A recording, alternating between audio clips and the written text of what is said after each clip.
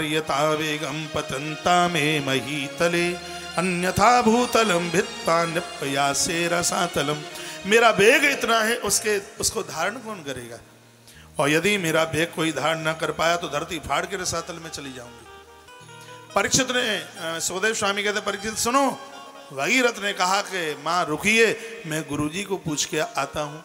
उसी समय कपिल मुनि को पूछने को गए, इस कथा का अध्यात्म पुट ये है, गंगा भक्ति है, भक्ति को कैसे धारण किया जा सकता है?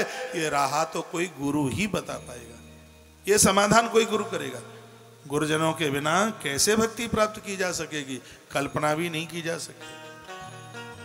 मंत्र तो सिगरे किताबों में लिखे हैं, लेकिन वो फलीभूत तो तभी होता है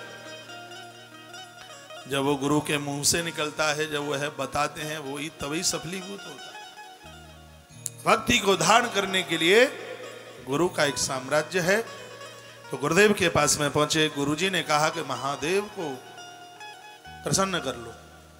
क्योंकि गंगा को धारण करने के लिए महादेव की ज़रूरत है। गंगा भक्ति है और आप किसी भी देवी देवता के पुजारी क्यों नहीं है? यदि शंकर के लिए आस्था नहीं है भक्ति नहीं आएगी, और हूँ एक गुप्त मत।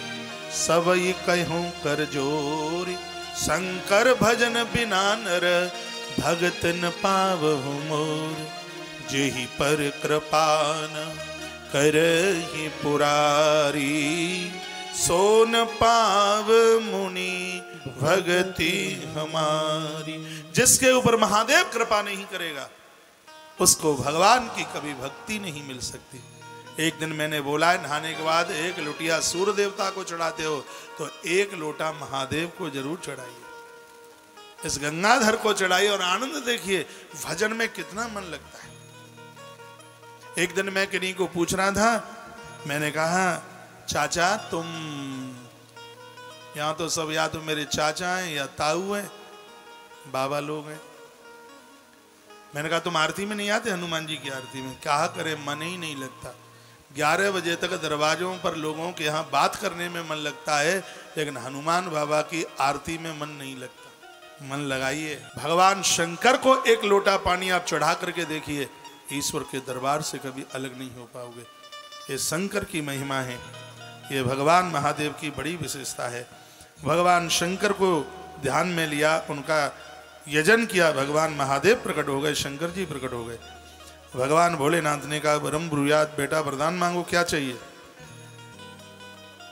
तो कहा, प्रभु जी, आप ये कृपा कर दें कि माँ भगवती गंगा को आप धारण कर लें। माँ गंगा को स्वीकार कर लें।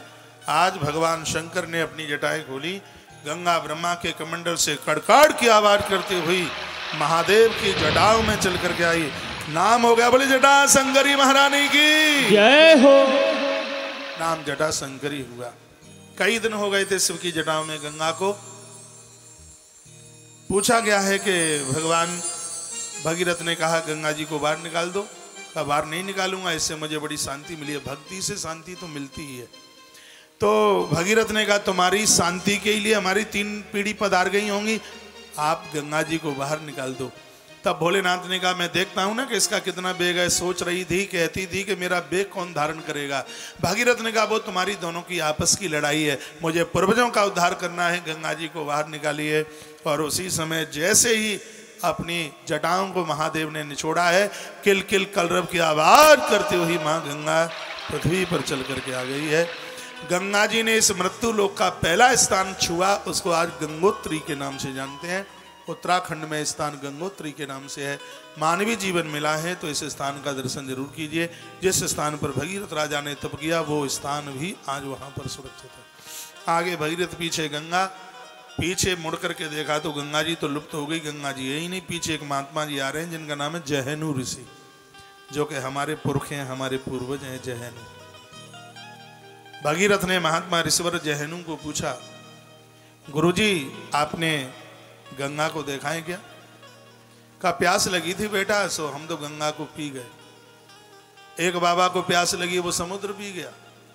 अगस्त बाबा। और जिन्हें प्यास लगी, सो गंगा ही उठाए के आचमन कर लो गंगा जी को। भगीरथ ने कहा, त्याई प्यास बुझाए के कार्य हमने तब करो होगो। गंगा जी निकाल दे बाहर